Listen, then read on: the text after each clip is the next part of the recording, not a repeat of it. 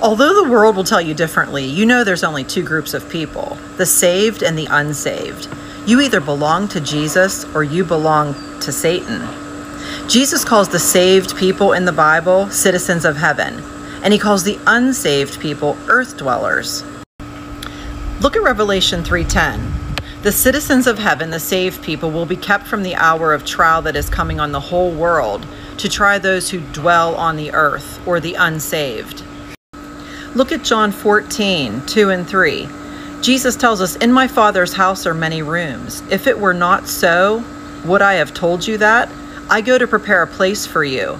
And if I go and prepare a place for you, I will come again and will take you to myself, that where I am, you may be also. This is one of the verses that convinces me of the rapture. Why would Jesus find it necessary to prepare a place and say, I will come and take you to me, if we weren't supposed to be somewhere for a period of time? When Jesus goes to come back for the second coming, we will come back with him to this earth for the Battle of Armageddon. And guess what? Jesus wins. But you might ask, well, why is Satan continuing on with his plan if he already knows the plan? Which he does. He knows the Bible, and so do his demons.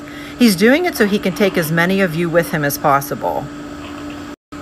Immediately following the Battle of Armageddon will be the millennial reign of Christ, and Satan will be bound for a thousand years.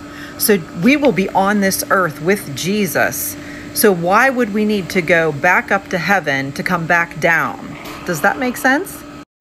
The final judgment for Satan and all of the unsaved being thrown into hell or the lake of fire will take place after that. And then Jesus will set up the new heavens and the new earth here, and we will live in our glorified bodies. We will have flesh.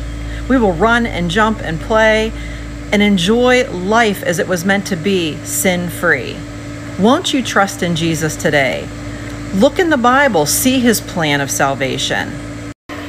He loves you so much, he's waiting for you. Don't go with Satan, go with Jesus. He wins.